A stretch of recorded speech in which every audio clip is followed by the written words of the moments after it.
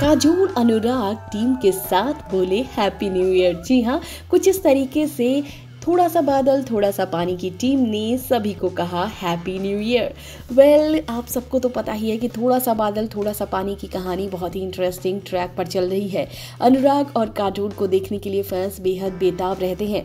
साथ ही काजोल और अनुराग को एक साथ देखना चाहते हैं चाहते हैं कि प्रियंका रास्ते से हट जाए और अनुराग और काजोल जो है वो हमेशा हमेशा के लिए साथ हो जाए। तो वहीं पर काजोल और अनुराग जो है वो एक दूसरे से दूर जाना चाह चाह रहे थे। हालाँकि दोनों दिल से एक दूसरे से दूर नहीं जाना चाह रहे थे, लेकिन सरकम कुछ ऐसी बन गई थी कि दोनों एक दूसरे से दूर जाना चाह रहे थे, क्योंकि प्रियंका ने कुछ ऐसी डील कर ली है अनुराग के साथ कि अगर काजोल के पास जाएगा अनुराग तो वो कुछ ना कुछ ऐसी हरकतें करेगी, जिसके बाद काजोल को प्रॉब्लम होने वाली है और इसी वजह से जो अनुराग है वो काजोल से दूरियाँ बना रहा है तो वहीं पर काजोल को ऐसा लग रहा है कि जो अनुराग है वो बदल गया है। यही सोचकर दोनों अपनी अपनी तलाश में आते हैं, सुकून की तलाश में आते हैं हरिद्वार, जहाँ पर किस्मत एक बार फिर से उन्हें मिलाती है। कुछ इस तरह से कि काजोल जो है वो पानी में डूबती नज़र आती है, अनुराग उसे बचाता है और इसके बाद हॉस्पिटल लेकर जाता है, जहाँ पर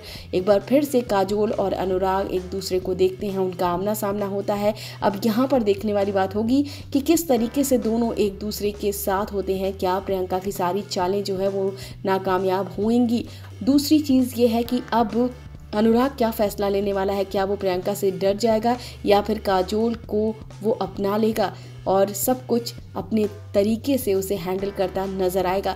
फ़िलहाल जो न्यू ईयर में आने वाले जो ट्रैक्स हैं, वो बहुत ही मज़ेदार होने वाले हैं और सेट पर भी आप इन लोगों को देखकर अंदाज़ा लगा सकते हैं यानी कि जो टीम है, वो कितनी खुश नज़र आ रही है, जिस तरीके से फैंस रिस्पॉन्स कर रहे हैं।